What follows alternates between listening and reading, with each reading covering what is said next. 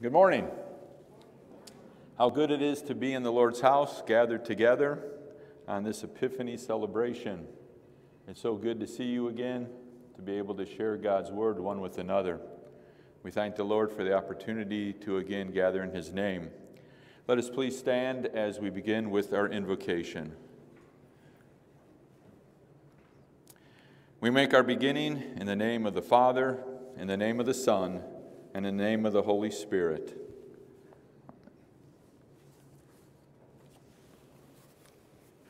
Sam, you want them standing or seated for the song?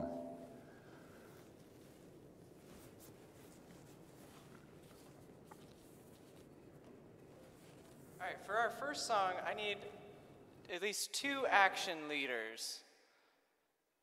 Who's hand? Preston, come on up. And one more. Anybody? All right, Preston, you can do it. We're going to do the hippo song. And Preston's going to help us lead the actions. Preston, you can stand right up here. So, just a reminder in the beginning, God made the seas and the forest filled with trees. He made the mountains up so high, and at the top, He placed the sky. God's fingerprints are everywhere just to show how much He cares. And in between, He had loads of fun. He made a hippo that weighed a ton. And then we'll spin around for the next part. All right, so this is the hippo song.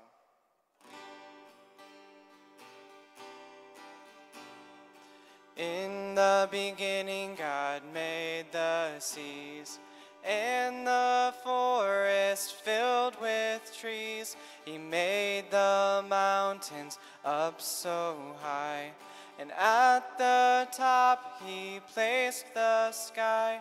God's fingerprints are everywhere just to show how much he cares. And in between, he had loads of fun. He made a hippo that weighed a ton. Hip, hip, hippopotamus. Hip, hip, hooray, God made all of us.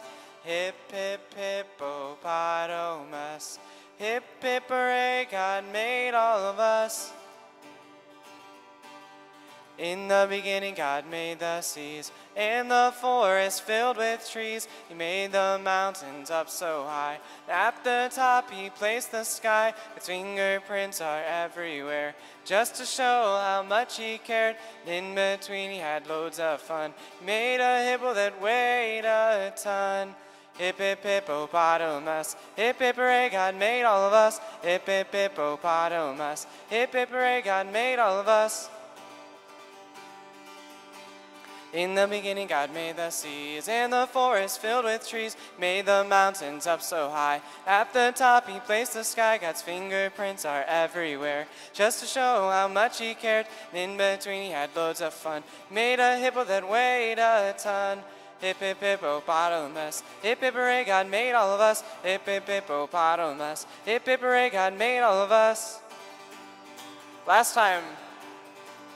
In the beginning, God made the seas and the forest filled with trees, made the mountains up so high. At the top, He placed the sky. God's fingerprints are everywhere, just to show how much He cares. In between, He had loads of fun. Made a hippo that weighed a ton.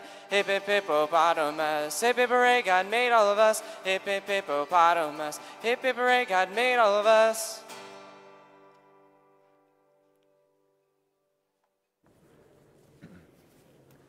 We remain standing for our morning prayer as we join together. We pray.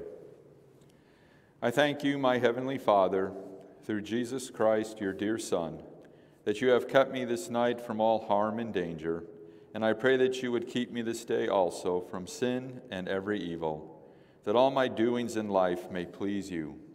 For into your hands I commend myself, my body and soul, and all things. Let your holy angel be with me that the evil foe may have no power over me. Amen. You may be seated.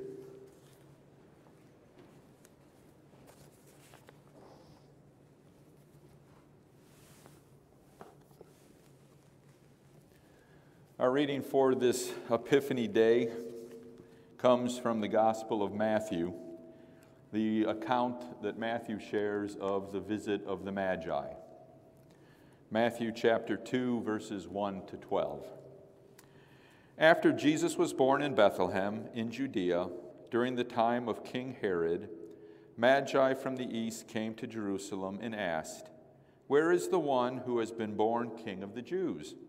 We saw his star in the east and have come to worship him.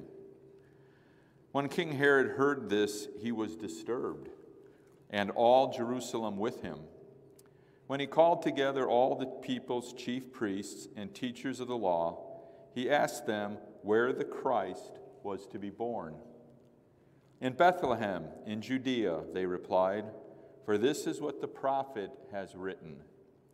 But you, Bethlehem, in the land of Judah, are by no means least among the rulers of Judah, for out of you will come a ruler who will be the shepherd of my people Israel. Then Herod called the Magi secretly, secretly, and found out from them the exact time the star had appeared. He sent them to Bethlehem and said, Go and make a careful search for the child. As soon as you find him, report to me, so that I too may go and worship him. After they had heard the king, they went on their way, and the star they had seen in the east went ahead of them until it stopped over the place where the child was. When they saw the star, they were overjoyed. On coming to the house, they saw the child and his mother Mary, and they bowed down and worshiped him. Then they opened their treasures and presented him with gifts of gold and of incense and of myrrh. And having been warned in a dream not to go back to Herod, they returned to their country by another route. A familiar passage to us as we share God's Word this day. Question for you What did you ask for this Christmas? Any hands that want to share? What did you ask for this Christmas? What was on your Christmas wish list? Yes.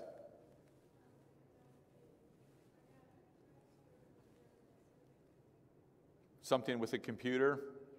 Very good. Anyone else? No one asked for anything or wished for anything? Yes. Did you get it? No. so then I asked the next question Did you receive what you asked for? And how did you ask for it? Was it obvious to your parents or grandparents or anyone else that this is what you wanted? Did anyone receive some incense for Christmas? Or how about some myrrh? You mean that wasn't on your Christmas lists? We probably all would have been satisfied with something gold. And maybe some of you got something gold, maybe earrings for the girls or a bracelet or a necklace or something. So gold might have been more of an appropriate thing that was on your Christmas wish list.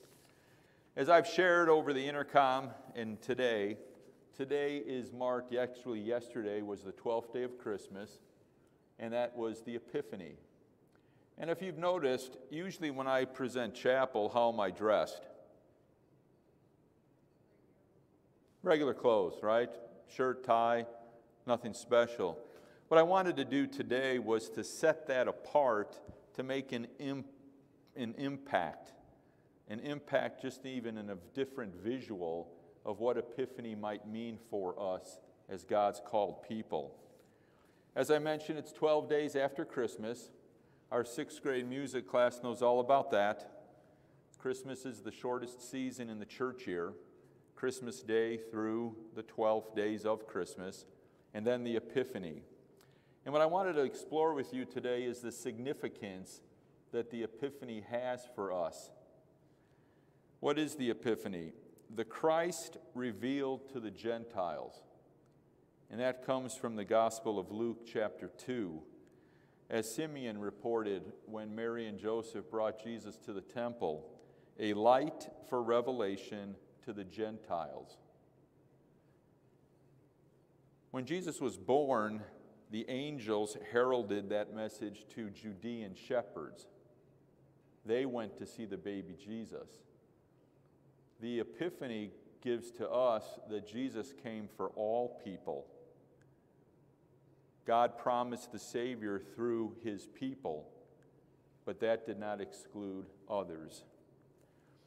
So when the Magi came, they went to Jerusalem, the capital, to find out where a king would be. Where would you expect a king to be born other than the capital? And Herod was the king at that time, and he was disturbed, as our reading told us, and all of Jerusalem with him. So, where did Herod go to find out where this king was to be born? Where did Herod look? He looked to God's word. He had the scribes, the Pharisees, the uh, teachers of the law. They knew the scriptures. They knew the scriptures very well. You heard the prophet say in Bethlehem, the Christ was to be born. That came from the prophet Micah. It's in Micah chapter, two, uh, chapter 5, verse 2. And that prophecy was 700 years earlier that God revealed that plan to Micah as he shared it in the Old Testament Word. And they knew exactly where to look, and they found the Christ will be born in Bethlehem. So the experts of the Word knew where the Messiah was to be born, born in the house of David, in the kingly line of David. But they couldn't comprehend that he was more than an earthly king, that he was the Christ, God's promised Messiah. It's difficult to imagine that they knew where to look, they knew the exact words to find out where he was to be born, but they could not see and believe that he was the Christ. What were they lacking that kept them from acknowledging that? Why couldn't they see and understand the very words from God that foretold the birth of the Messiah. What were they missing? Yes, faith. Well said. Gifts given. Again, in the reading, we hear that they came and they opened their treasures. They gave gold, frankincense, and myrrh. These are gifts fitting for a king, the best. No Amazon online shopping with free delivery either that they sent ahead of themselves. They traveled led by a star.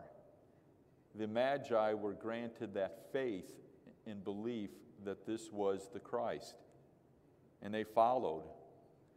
We don't know exactly how many Magi they were. Tradition says three because there was three gifts, but God's word never identifies that. They traveled by a star. Did any of you uh, look on December 21st and see Saturn and Jupiter pass real close together? And that was um, a really awesome sight. If you did, it was a great night for it, low in the southern sky. I was able to see that as well. And again, historians, Bible, biblical scholars may think it was something like that. But that's not known exactly either, how the star was brought. But when do we see stars? Besides our sun, we see it at night. So the thought might be that they even had to travel at night, which would have been more and more difficult than we have today with our lighted highways. And what did they do first when they found the king? They bowed down and worshiped. That was their first response as they found the king. The second response was they presented themselves, their gifts, as an act of worship and praise. What a witness for us this day of how they responded to the king. So, what does that mean for us today, all these many years later? First off, Jesus fulfilled all the Old Testament prophecies that spoke of him coming. And there were over 300 Old Testament prophecies that pointed to Jesus as the Messiah. And he fulfilled all of them. God's promised plan for salvation is found in Jesus alone. from Isaiah or from Acts 13, which is also a footnote to Isaiah 49. I have made you a light for the Gentiles, that you may bring salvation to the ends of the earth. Jesus refers to himself as I am the light of the world, the light that shines in the darkness. What Reagan said, the Herod and his wise men, or his um, biblical scholars at the time, those that knew the Old Testament well, didn't have was faith to believe. We believe through faith. And how appropriate it is today that we will celebrate within this service our January baptisms. For it is through baptism that the Holy Spirit enters our heart and God creates faith. We see through the eyes of faith as well. So, what is our response in faith? We see how the Magi did, how they traveled, and I'm glad that the Christmas decorations are up so you can see the banner of the wise men following the star, the Magi. Like the Magi, our first response should be one of worship and praise to our Heavenly Father. We just celebrated the birth of Christ at Christmas, the Messiah. And we gather together this morning in worship and praise of that great gift. Then we offer our gifts as acts of worship and praise.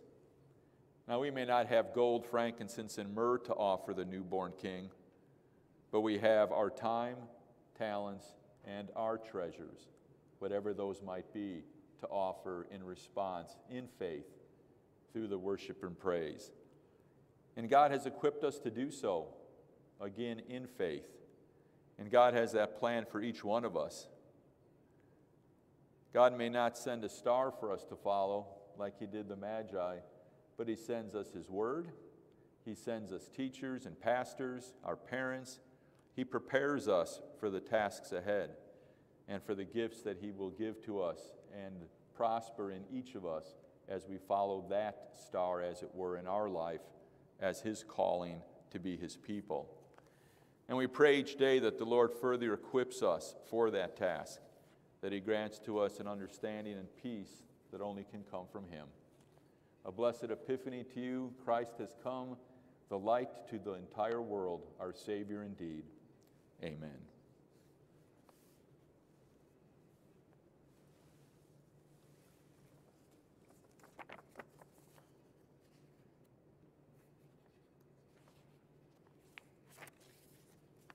Our next song, thank you. And let's go ahead and stand for our song.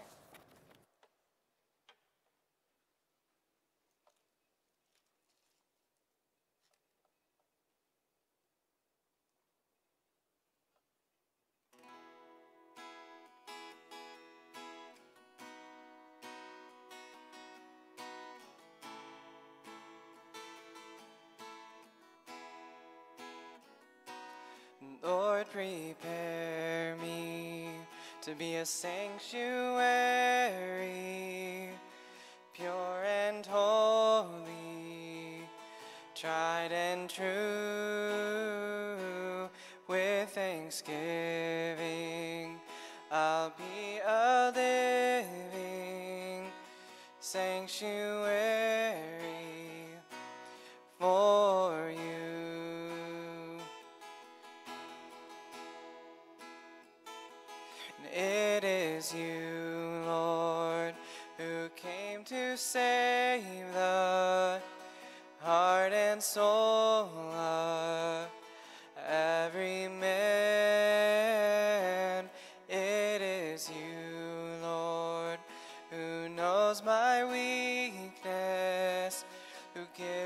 strength with thine own hand. So lead me on, Lord, from temptation.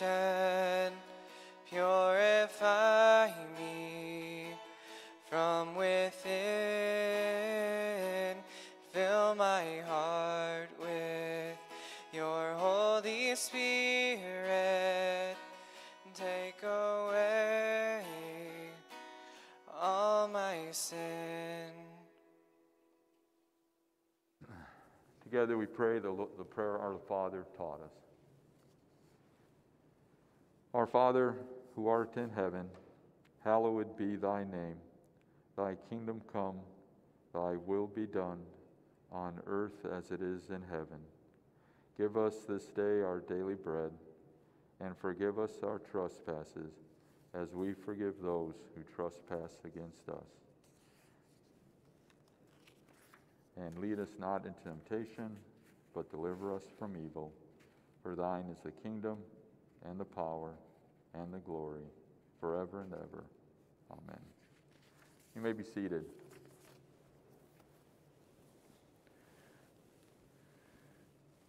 As we gather in the Lord's house this day, we remember the baptisms, the baptism that He grants to us. Those that were baptized in January. Please stand either in the sanctuary here or in the classrooms if you hear your name called during this January time. Seventh grade, Caleb Hudson. Kindergarten, Tyson Honebrink. Seventh grade, Gavin Wagoner. Sixth grade, Deshaun Parks. Kindergarten, Isaiah Evans. First grade, Olivia Borchardt. Third grade, Sophie Borchardt. In the resource room, Mrs. Davis. Kindergarten, Mrs. Hardiman. I was also baptized during the month of January, and Miss Riley was baptized in January. So we go to our order of service. The Apostle Paul reminds us Do you not know that all of us who have been baptized into Christ Jesus were baptized into his death? We were buried, therefore, with him by baptism into death, in order that just as Christ was raised from the dead by the glory of the Father, we too might walk in newness of life. In baptism, God has adopted us as his own child and called us to follow after him in faith.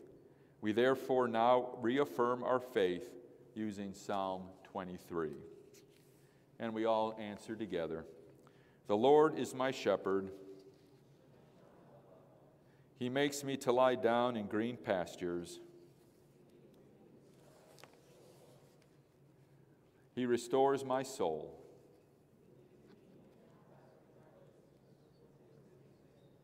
Even though I walk through the valley of the shadow of death, I will fear no evil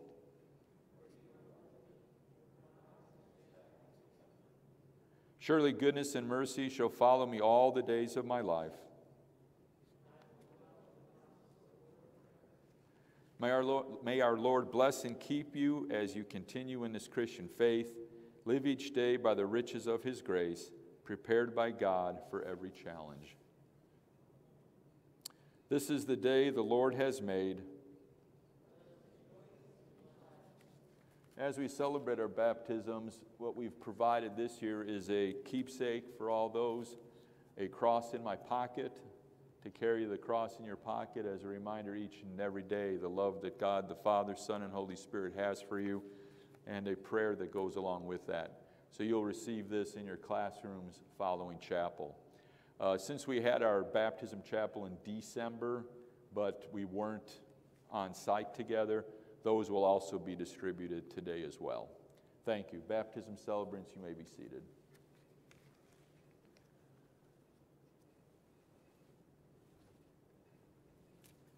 Please stand for our final song.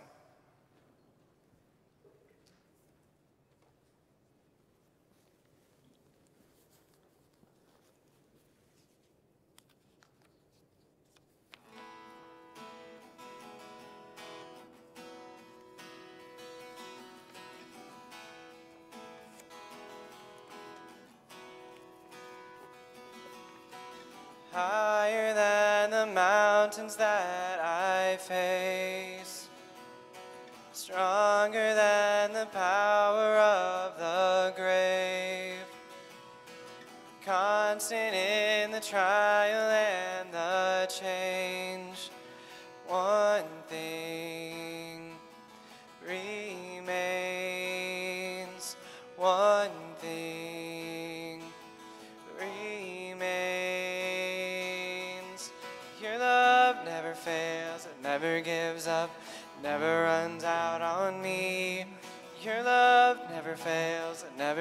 never up, never runs out on me. Your love never fails, it never gives up, never runs out on me. Your love.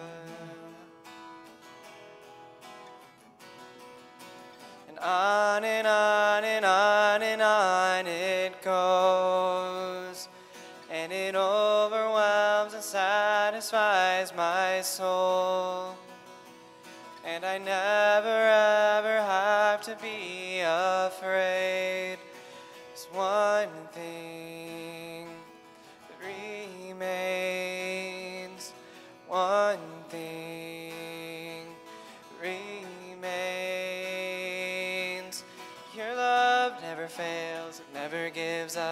never runs out on me.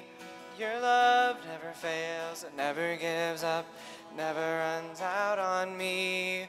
Your love never fails, it never gives up, never runs out on me. Your love.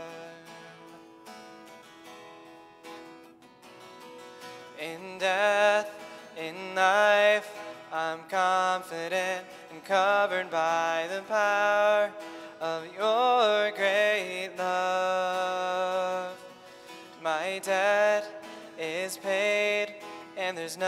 nothing that can separate my heart from your great love. Cause your love never fails, it never gives up, never runs out on me. Your love never fails, it never gives up, never runs out on me. Your love never fails, it never gives up, never runs out on me. Your love.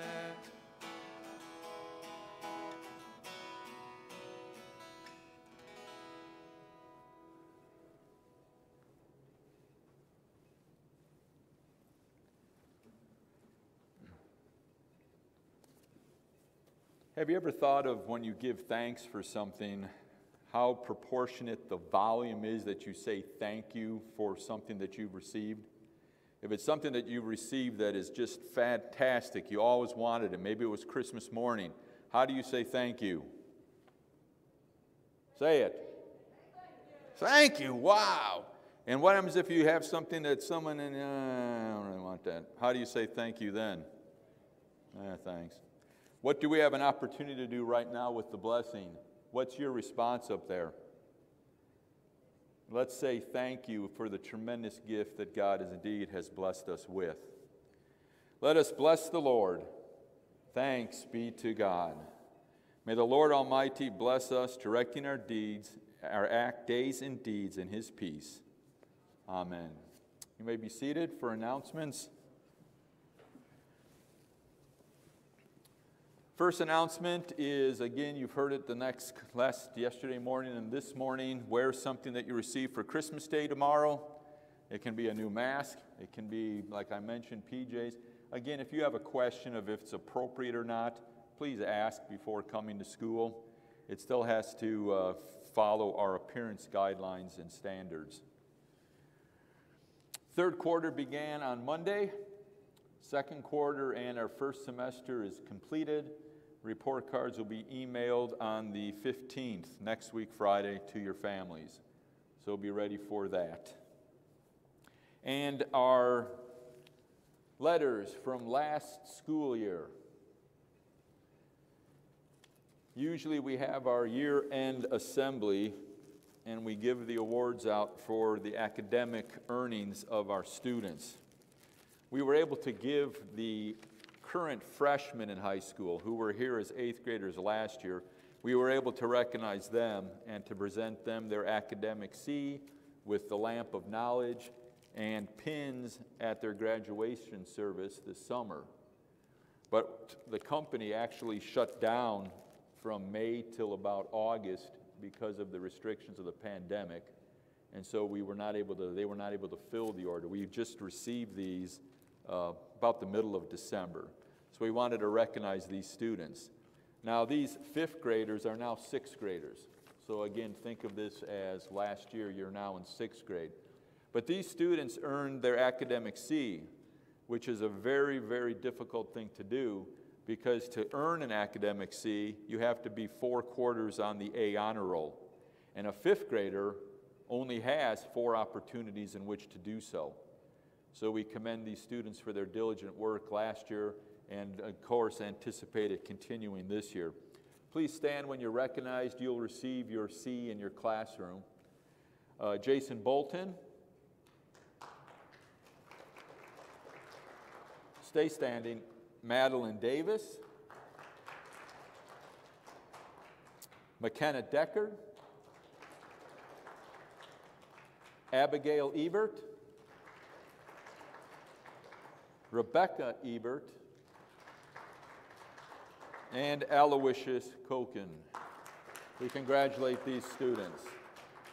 Thank you. You may be seated. From our current seventh grade, but as again, this is sixth graders, uh, these students have already received their letter, so you get a pin for every additional quarter on the A honor roll. So again, please stand up, seventh grade, when you hear your name. Carter Gaskins, four more pins. Kyle Huntington, four more pins. Jackson Jeffers, four additional pins. And receiving his academic C for now being on the A honor four quarters, Nevin Jeffers. Thank you, seventh grade.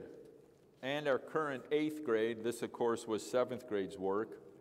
Again, your name called, stand up please. Rose Chin, four more pins. Josh Hensley, four more pins. Van Maui, a C plus three pins. Well done. Lily Robinson at home, four additional pins. Tegan Tingley at home, four additional pins. Lindsay Wheat has earned her academic C plus three pins. And Rihanna Wilson, one additional pin. Thank you. You may be seated. We celebrate the gifts of our Heavenly Father one with another, so we thank the Lord for this time to enable to do so. Any other announcements?